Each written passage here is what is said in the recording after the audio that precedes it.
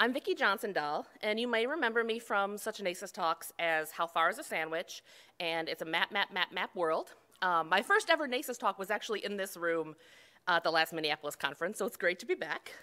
Um, because I wrote a book, uh, and that's researched, wrote, uh, and designed the maps for. And the writing is actually the least relevant part of this talk. Um, you can hear more about that at the next meeting of the North American Map Describers Information Society, or something like that. Uh, the book is called Buffalo in 50 Maps.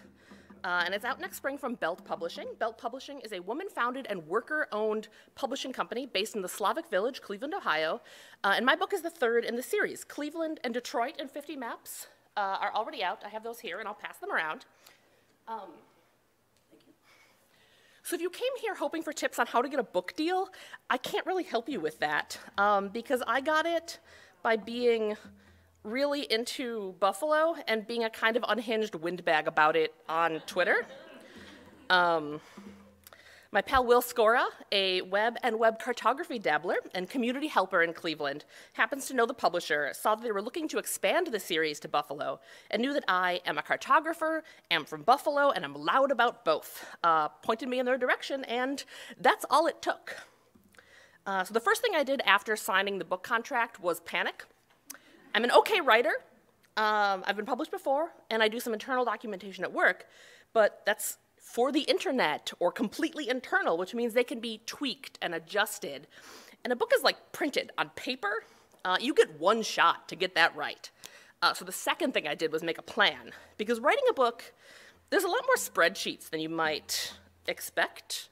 Um, but the first thing I did, well, I guess the second thing I did was just start listing ideas, just concepts. Uh, I went through like 120 concepts of just what could be a map in this book. What would I want to see?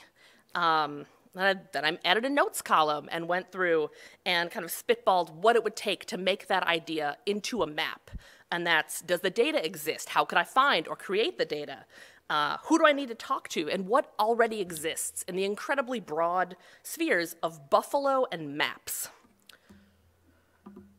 Um, so I cast a really wide net. Uh, I was in Chicago for a day and a half before the NASA spring meeting in Milwaukee.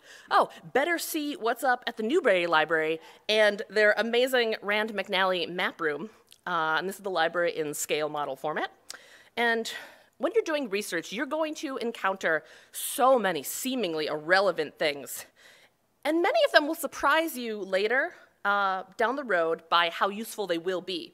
Uh, so make sure you take really good notes and be ready to have really complete citations for sourcing. Uh, but there are some things that won't necessarily be useful later. They're just cool and unexpected. Uh, and you know, just file these under good background.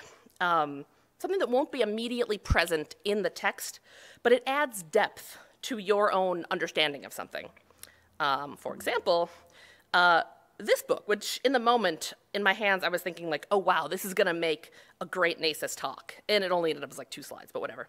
Uh, it's an automobile club touring guide from 1914, and vehicle adoption was pretty new then, so navigation, they had these books, and it's all turn by turn directions from one place to another. Uh, and it's not substantially different from modern GPS, but there is real charm to looking in 2022 at how someone would get from Buffalo to East Aurora or Elma or wherever in 1914 by following wires or noting that there's a large chicken farm on the right. Um, not to turn there, just confirmation that you're going in the right direction. Uh, but one thing that modern navigation systems are lacking that they had back then, interesting detours. It's just there's a couple of these sprinkled throughout the book of just like, there's an excellent view of the falls if you go this way. Um, also missing from modern uh, navigation systems, liquor ads. Uh, different times. So the thing holding the book open also, um, that's called a snake, and I love niche jargon. Uh, the lovely li research librarian, when I was getting these books, was just like, oh, do you want a snake? We've got snakes. She's like, yeah, snake. Uh, I was really relieved when it was a velvet tube that holds the book open without damaging it and not a live cobra. The other major library uh, I visited was the library at the Buffalo History Museum, uh, which is the only building still standing from the Pan American Exhibition of 1901. And they have a wonderful research library. Um, and this is where I'm taking a hard left into how amazing research libraries and librarians are. Um, the director of the library and archives at the Buffalo History Museum is this fabulous woman named Cynthia Van Ness. Uh, and kind of the crazy thing about research libraries, anyone can go. They're not walled gardens. These are not gate kept spaces. There's all these amazing materials and knowledge and history just hanging out, gathering dust, waiting for someone to uncover it and, and learn from it all, all over again. Um, the other person in the research library when I was there was a guy trying to find a news article from a car accident he had been in, in a teen uh, as a teenager to scare his own teenager into driving safe. Like, you can just go in and do stuff like that.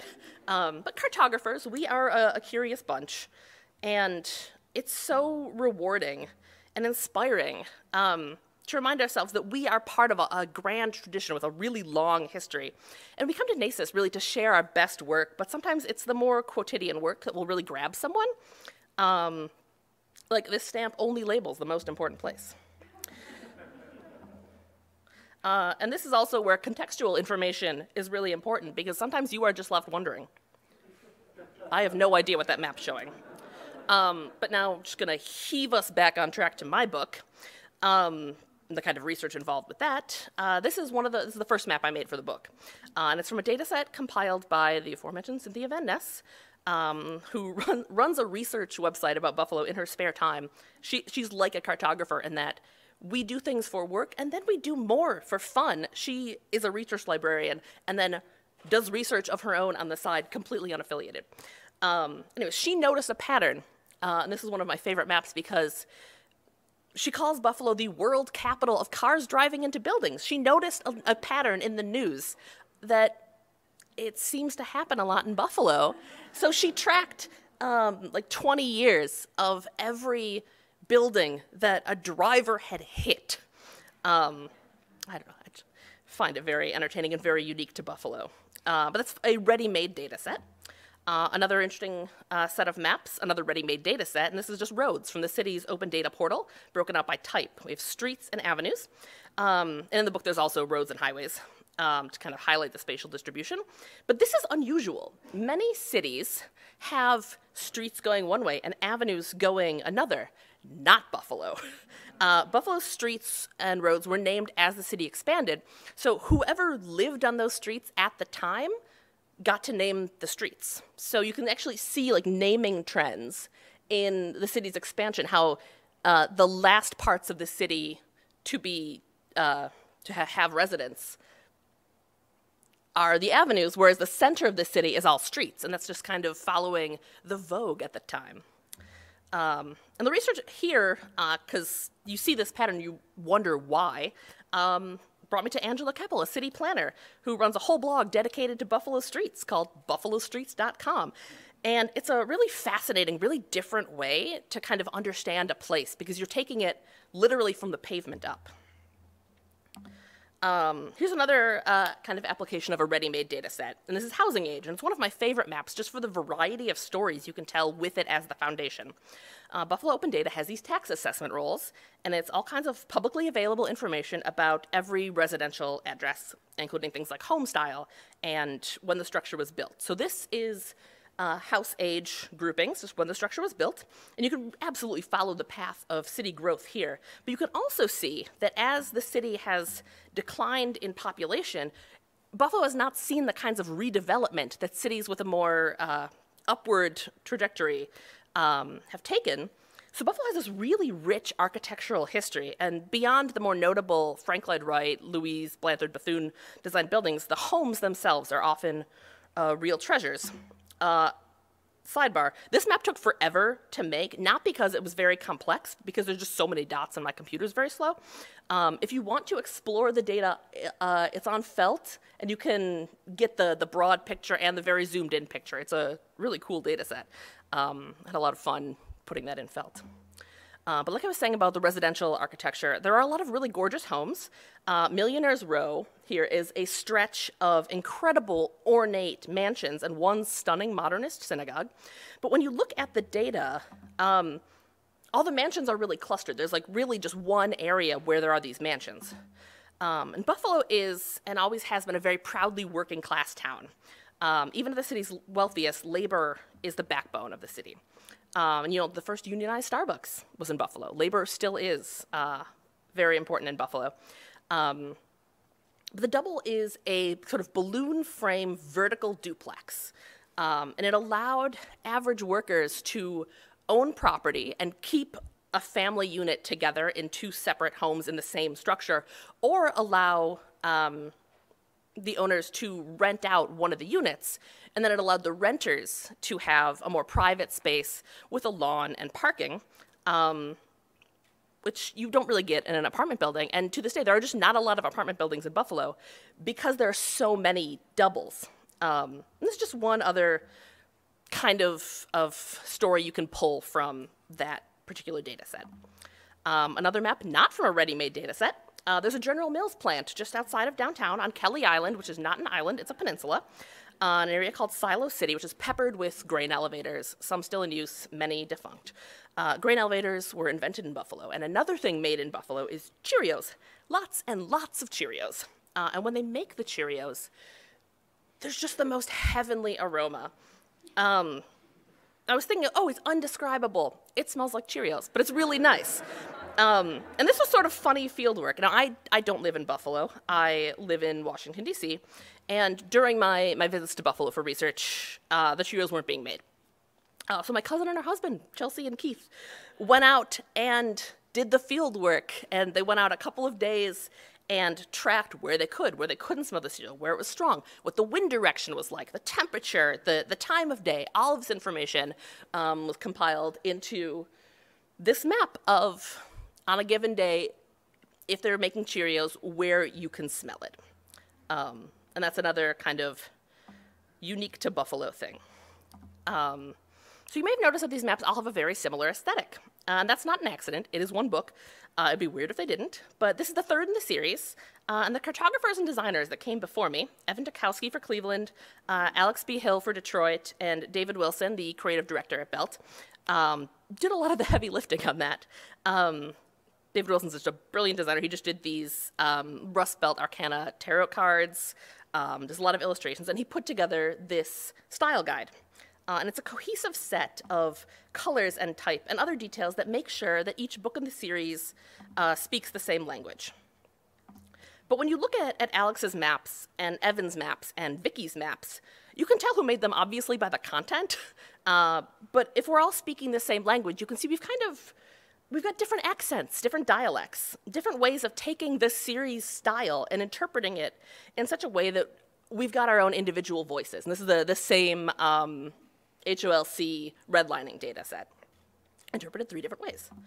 Um, and this is something I've been thinking a, about a lot lately, is how does one develop and define one's own cartographic voice? And I talked to a couple of folks around NACIS uh, yesterday to see how they would describe their cartographic voice. And it's such a deliberately vague prompt with such a variety of answers. Um, and it kind of speaks to how cartography is both very personal and very universal. Uh, and that's something I really want to explore in the future, but I do only have 15 minutes, so let's move it along. Uh, when it comes to my own maps, I think my, my voice is kind of whimsical. And this is maybe a response to the sort of bleak subject matter uh, of the work in my day job. Um, or maybe I'm just kind of cheerful.